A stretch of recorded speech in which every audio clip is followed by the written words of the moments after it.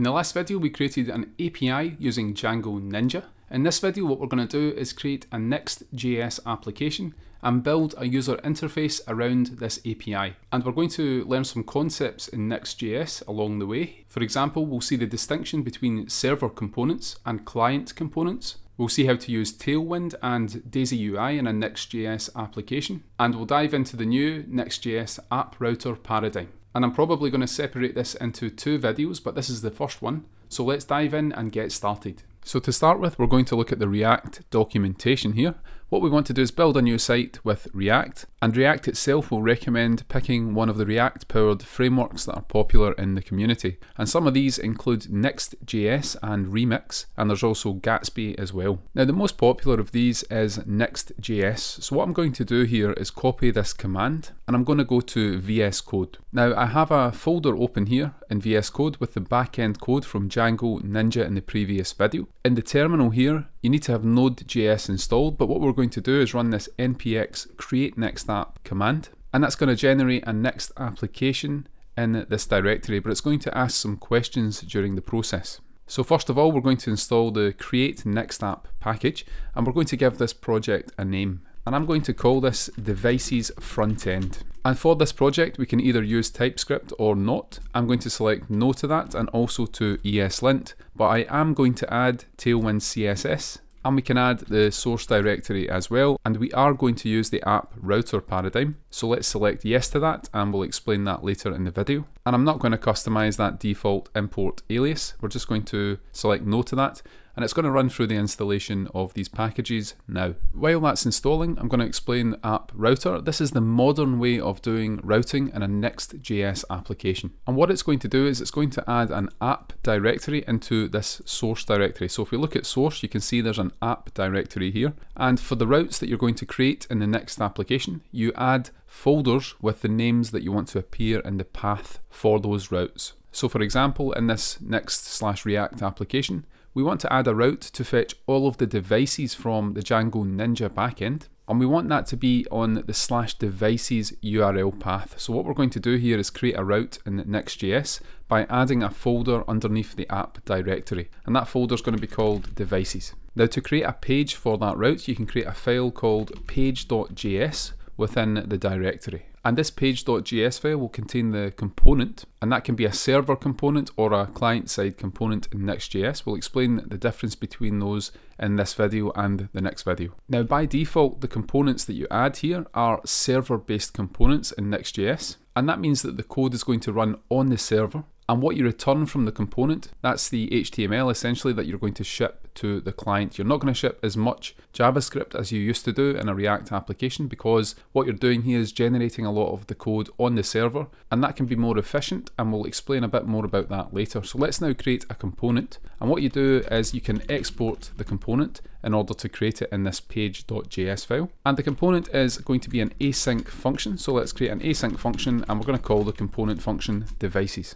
And what we can do here is return some JSX, which is basically like HTML here. And this is a convention in React. What you return from a component is JSX code that's used to render the user interface. What we're going to return here is this HTML. So we have a simple div that contains some flex classes from Tailwind CSS, which we're going to use in this video for styling. And then for now, we return a simple h1 that says my devices. Now, one thing to notice when you're using React and Next.js is that you don't use the normal HTML class attribute, you're using class name. And that's because this is JavaScript code and class is a reserved keyword. Now in order to run this application we can run the npm run dev command. Now we need to be in the device's front end directory to do that. So let's go into that directory and run npm run dev. And that's a command that's been added to the package.json file when you run create next app and that's going to start a server on localhost 3000 and if we go to that page we can get the next.js landing page. If I go to the URL here and add slash devices we're going to get back the styling and the content that we defined in that component. Now the styles that you see here with this weird kind of striped look we're going to remove them soon. Now what I want to do now is talk a bit about Next.js rendering. As I mentioned earlier, in Next.js we have the notion of server components, where the code runs on the server, and then we have client components where the code runs on the client. And client components will be familiar if you used to use React without Next.js, where you defined all of the code in a front-end application that ran on the client. And that JavaScript bundle was sent to the client and then the client side code would run and perhaps fetch some data from the backend. So it was a different process than just using server components. We're going to dive into that in this video. Now by default, Next.js uses server components. So the content is generated and rendered on the server and a smaller bundle is sent to the client. And that means within our server component, like we have here, we can actually perform API requests from the server to our Django Ninja application we can await the response for that request and then populate the content that's going to be returned to the client. So the actual code to fetch the data from Django Ninja will run on the server in the server component. And that's a little bit different to the way it used to be with client components because in a client component you would get the bundle, you would then send a fetch request to the Django Ninja API and then you would wait for the returned content and use that to update the DOM. We're going to show a different methodology here with the Next.js server components, and we're going to reference this page here on data fetching, caching, and revalidating. Now, because we have a server component, we are going to fetch data on the server with the fetch function. So Next.js actually extends the native Fetch Web API, but it adds some additional options that allow you to configure caching and revalidating behavior for each fetch request that's sent on the server. So if we look at the code in this Next.js component, you can see that in the component we're sending a fetch request and we're awaiting the response from that particular endpoint. If the response comes back and it's not okay, the component then throws a new error. Otherwise, we return a JavaScript object containing the response data. Now, this is actually a function that's defined in the page.tsx file, and that's called within the component that's actually exported from this file. So what we're going to do is something very similar. I'll leave a link to this page below the video, but what I'm going to do is go to VS Code and just above the component, I'm going to paste the code for a function called getDevices. And that sets up an endpoint that points to our Django server and it points to the slash devices endpoint that we configured in the last video with Django Ninja. So we send this Next.js fetch request to that endpoint and again we check if there's any kind of error, otherwise we will return the data from that endpoint. And we can amend the code in our server component here to actually use this function. So I'm going to copy the name of the function and we're going to go down into the body of this component and we're going to get these devices by setting up a variable called devices and we're going to call that function called get devices and we are awaiting the response data. And remember this is fetched on the server and we will then have access to the devices in the return statement here before it's sent to the client. So let's go down here and I'm going to add some code into the JSX that's returned here. I'm going to add a new div here and this div contains some margin top to separate it from the h1 tag as well as some flex classes. And what we want to do when we get the devices from Django Ninja is we want to map over them and for each device render it on the page in this React application. So we're going to define a bit of JavaScript code, a bit of dynamic code here that's going to look at the devices that we have in our component. And that is these devices that were fetched from Django Ninja.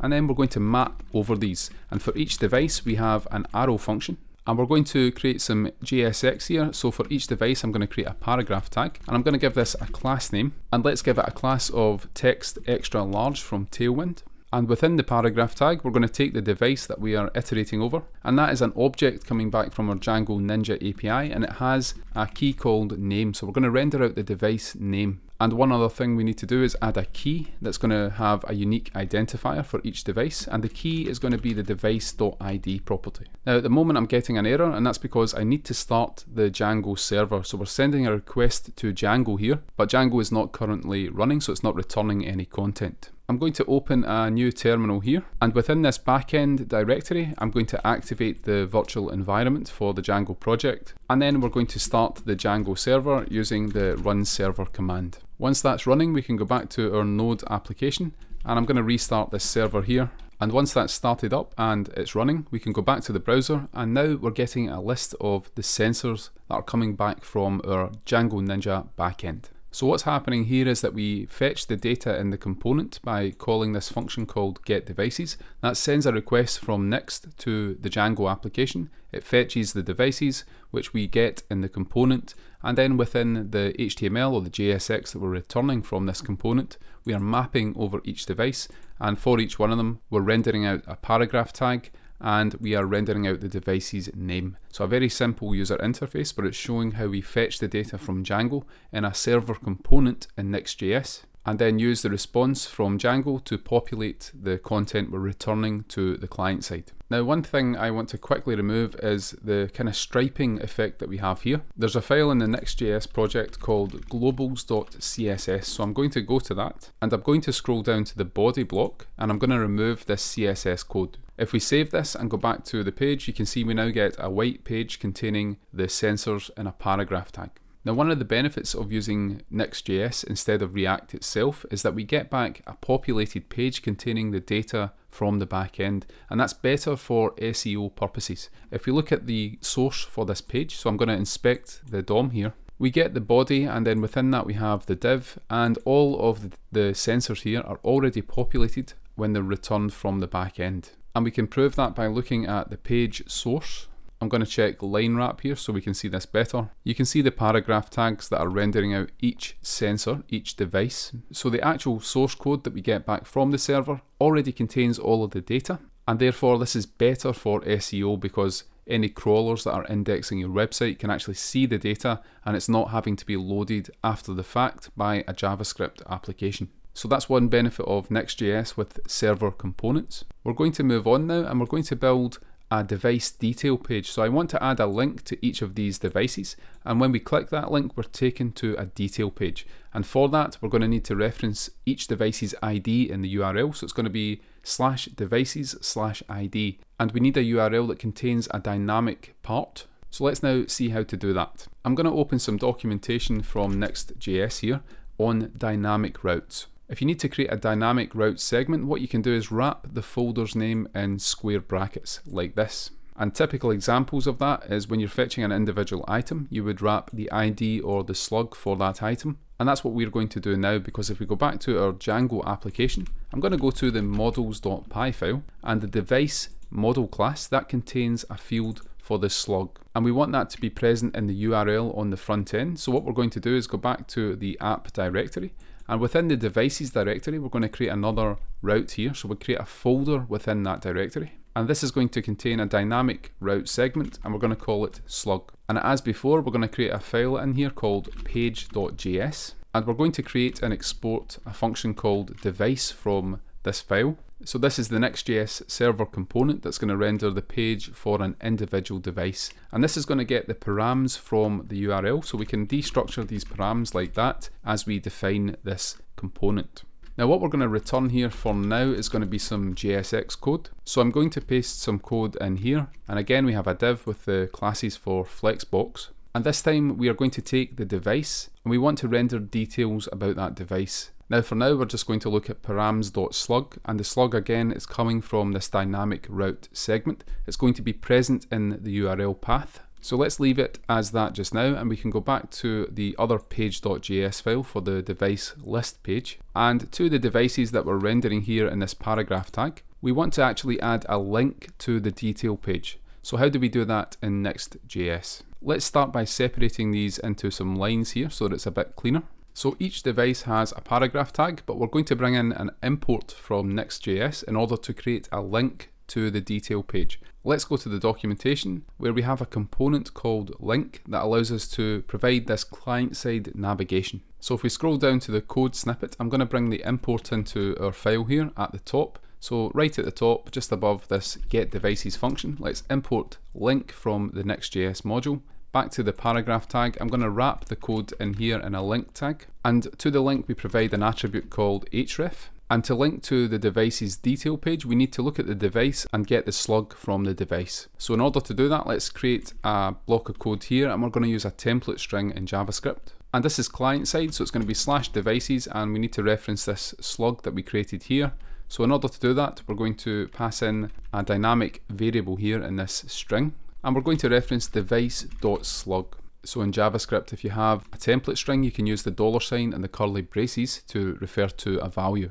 Let's now close off the link tag and I'm going to bring this device.name into the link tag. So the actual text that's going to be rendered in the link, I'm going to paste that in here. And because we're no longer just referencing a paragraph tag, I'm going to add some styles into this paragraph tag. So because it's a link, we're going to make it blue. And when we hover over that link, we're going to darken that blue color.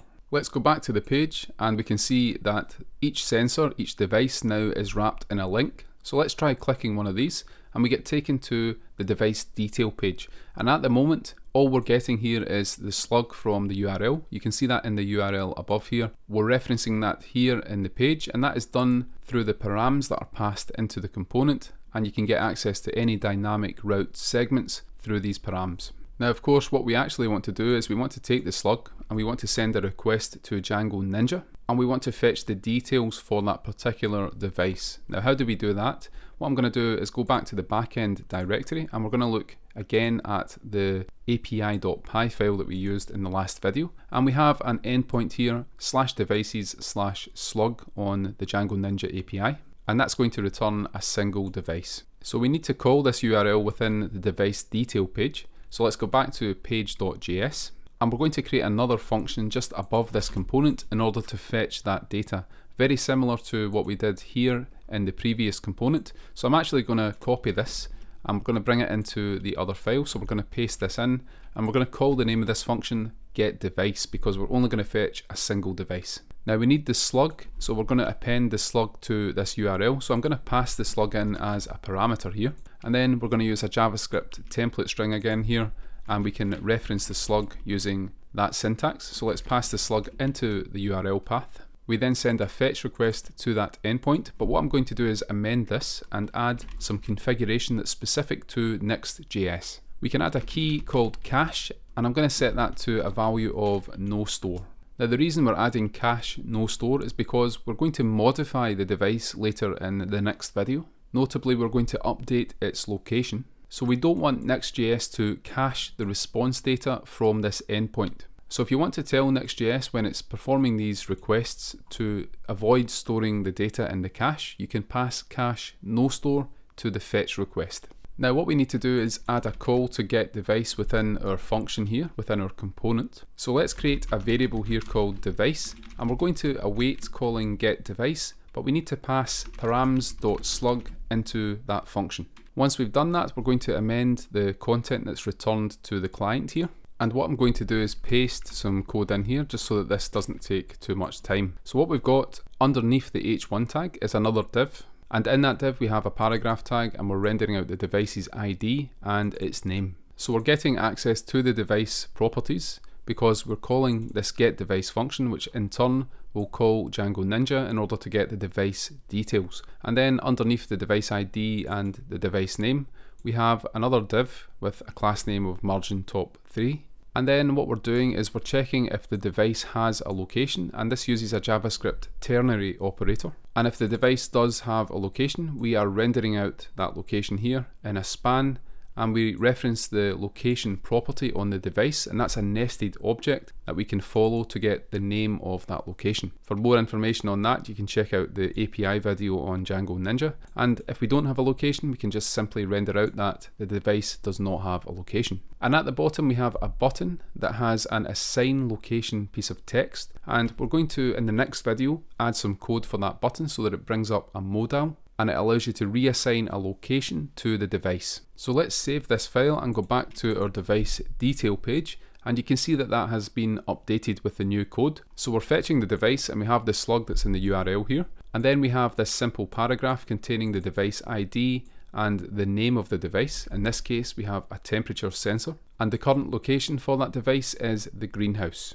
Our button that says assign location does nothing at the moment. We'll work on that in the next video. And if we go back here to the device list page and we select one of the other sensors, let's see the proximity sensor, you can see we get the details for this one, including its ID and the location is the garage. So again, we're fetching this data from Django Ninja from the back end in our Next.js server component And then within that server component, we take the data that we've retrieved and we use it to populate what's returned to the client. And this is going to contain all of the information from our backend API when the page first renders on the client and that again is very good for SEO purposes. Now what I'm going to do to finish this video is I'm going to work a little bit on this button here. We're not going to create the modal and allow users to assign a location to a device, but we want to start by populating this component with not only the devices but also all of the possible locations. Now in the last video, if we go back to api.py, we created an endpoint using Django Ninja to fetch all of the locations from the backend and that had the URL slash API then slash locations. And we can see the data returned from that page here.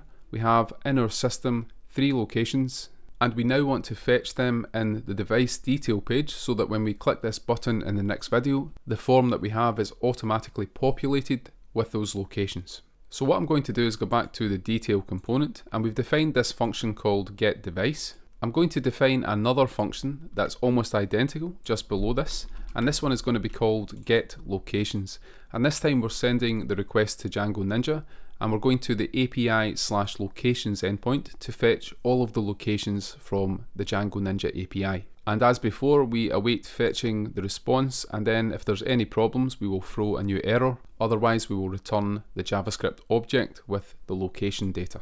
So what I'm going to do now is go back to the component and it's here that we call the device endpoint and we could do the same below to get the locations but we want to actually perform these requests in parallel and that's because if we added a second API call just below here, what is going to happen by default is that we're going to wait on this one returning because of the await statement, and then only when it's returned are we going to send the second API request. So this is sequential, but we can actually parallelize this and we can do that with the promise.all function in JavaScript. So I'm going to delete this line of code and we're going to create a new line of code just below here. And what we're going to fetch is not only the device that we were fetching before but also the locations. And we're going to use a call to promise.all so we're going to await the response from this. And what we pass to promise.all is an array of promises. So let's pass a JavaScript array here and we're going to take the get device function that we had before and we're going to paste that in there and we're also going to add the get locations function. So we can remove this original line of code and what we're doing here is we're fetching both the device and also the locations and we're doing it in parallel and awaiting the responses from those. So let's just make sure that nothing has broken on this page. If we refresh this page, you can see we still get the data for the device. And if we go back, we're still getting the list page as well. So what we're going to do now is we're going to go back here and just to finish the video I'm going to make sure that we've actually fetched the locations just with a little bit of dummy code. So right at the top here underneath the div but above all of the other content I'm going to create an expression here in the next component and we're going to take these locations that we fetched from Django Ninja and I'm going to use the dot .map function and for each location let's just render it out or rather let's just render its name out so we're going to reference the location.name property and that name property if we go back here it's one of the fields on the response data for each location. So let's go back to our application and you can see the different locations right at the top here and there's no spacing between them but you can clearly see we have the office, we have the greenhouse and the garage. So we have the locations available in this component. In the next video when we click this button we want to bring up a modal and we want to allow the user to select a new location for the device and then send a request to Django Ninja that's going to reassign this particular device to its new location.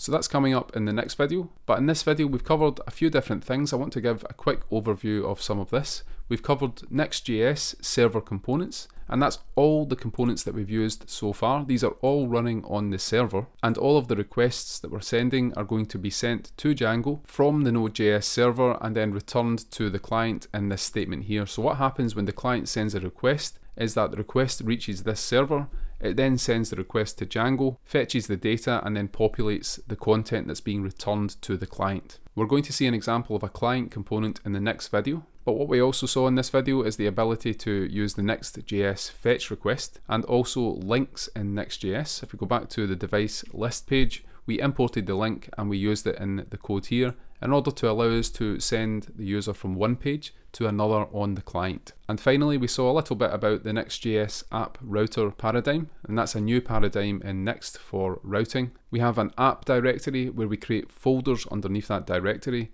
that represent the routes on our client side application. So that's all for this video. If you've enjoyed it, please give it a thumbs up and subscribe to the channel if you've not already done so. And if you're enjoying this content, please consider buying a coffee. Link is in the description. Thanks again for watching and we'll see you in the next video.